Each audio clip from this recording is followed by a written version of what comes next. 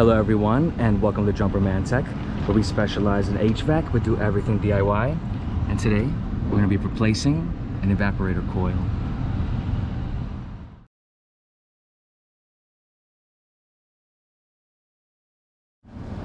Thank you to everyone tuning in to Jumper Man Tech.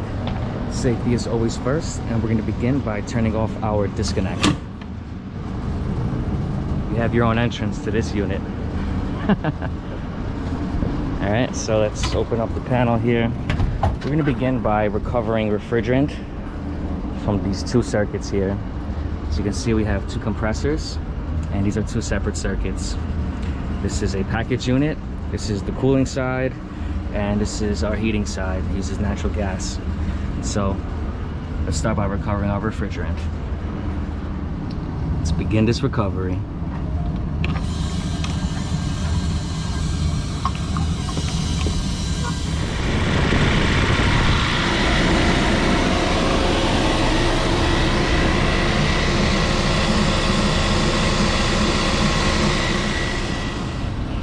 While the refrigerant is recovering, we're gaining access to the coils.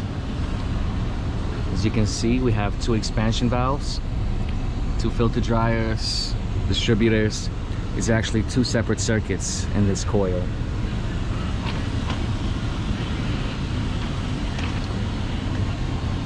Once the refrigerant is all recovered, take off all the mounting screws, take apart whatever we need to take apart, you know, isolate our circuit and then we can slide this thing out. We have the new coil in the hallway and that needs to be brought up. We remove the top cover gain access. The refrigerant is pretty much done recovering. I'm to cut back on some of this insulation so i can cut it in a neat space. I'm gonna cut out the refrigerant piping that we don't need and we're gonna try to slide this thing out. Uh, we took off the cover so we can gain access to some of the screws as they're on the opposite panel. So we're taking off some screws and we're going to disconnect the piping.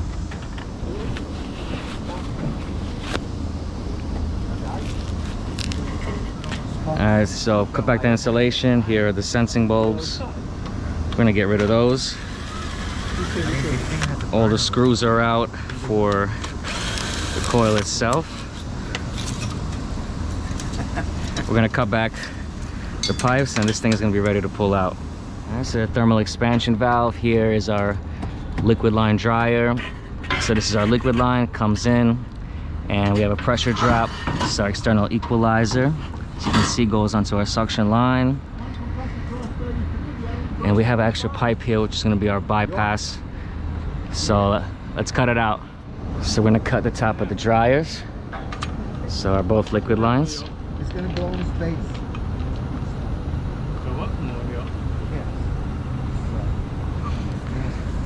So let's start cutting these.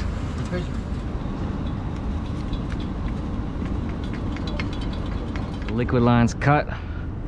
Got the bypass cut. And we got the suction lines cut. Looks like everything else is loose. And all we gotta do is pull out this coil and it's ready to come out. Yeah, I got the wires we're good with the wires. You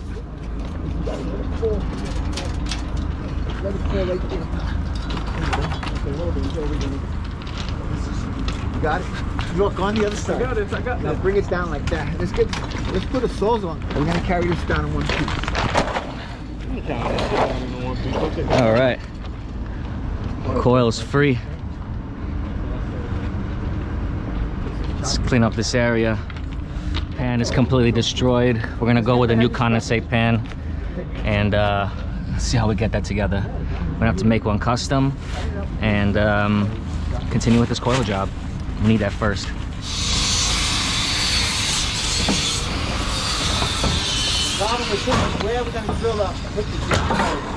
The new pan. All right, so we got a brand new pan made up. Everything is nice and welded with the fitting already coming out and the opposite end has insulation this is great I'll start by putting that in and then we can focus on bringing in the coil I put a layer of this sticky gunk This stuff here is great. So when we put the pan along the side, we zip some screws on the edge so the backside is protected. This box is like completely destroyed, but it's called cork tight. Stuff is really good. So we have it along the edge. We're gonna lay the new pan in place, zip in some screws, and then on top at the edge, you could just like silicone it and waterproof it if you want if you want to, but honestly you're gonna be good. People are rich. I don't want hard, so I want easy.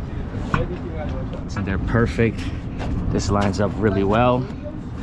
Right there. That's real nice. It's gonna work out.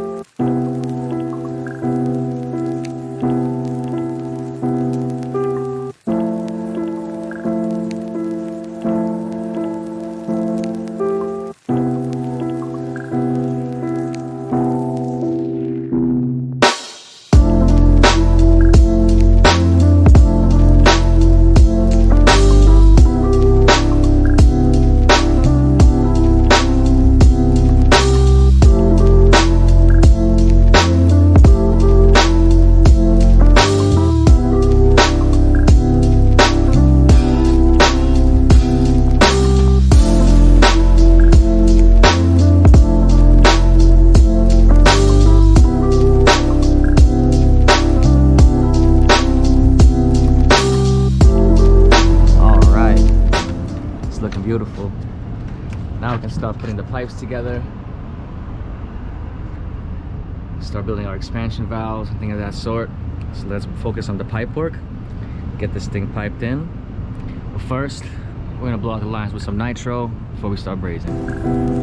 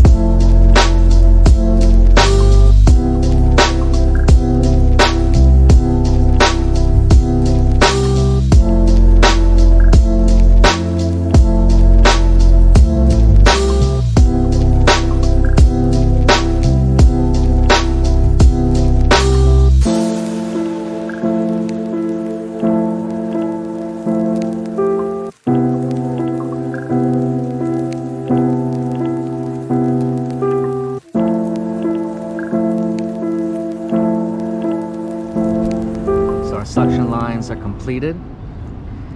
These are external equalizers.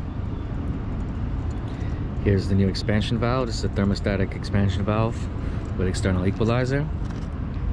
They're gonna go onto here. Here's our two liquid lines. So we're gonna install our filter dryers and our expansion valves. And this right here is a hot gas bypass pipe. So let's get that all configured and brazed.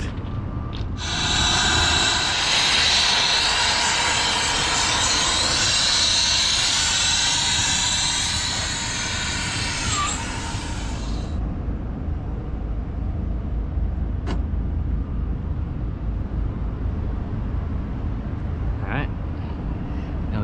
In the next one. Next expansion valve. And we're almost there. Here's a nitro. We check that circuit. If that circuit's good, then we're gonna dump the nitrogen and put it in a vacuum.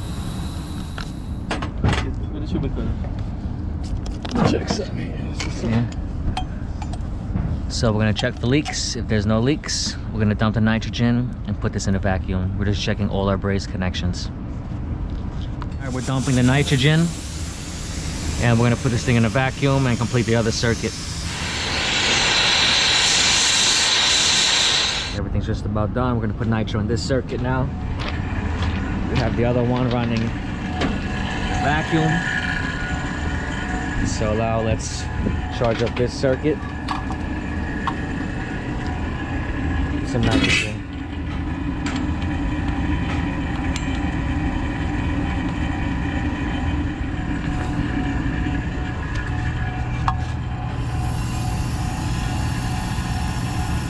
Alright, so we're pressurizing the circuit.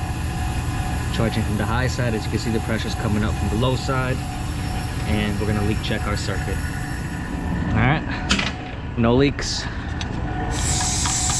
We're gonna dump the nitrogen. Put this circuit in a, a vacuum. And continue. So we're dumping the nitrogen in this circuit. We have no leaks. And that's pretty much it about how you install the coil. We're gonna have both circuits in a vacuum once this is done releasing the nitrogen charge. And that's about it. Here's external equalizers piped into the suction line. We got our hot gas bypass. We got our two new filter dryers. We got two new thermal expansion valves. The bulbs, like I said, get strapped to the suction line just like this. The next one needs to be strapped. You know, put the filter rack back on the roof of the unit.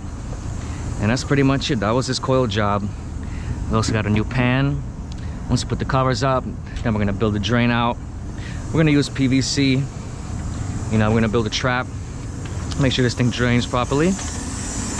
And that's it. If anybody's found this video interesting or helpful, please drop a like, comment, and subscribe. And I'll catch you all next time.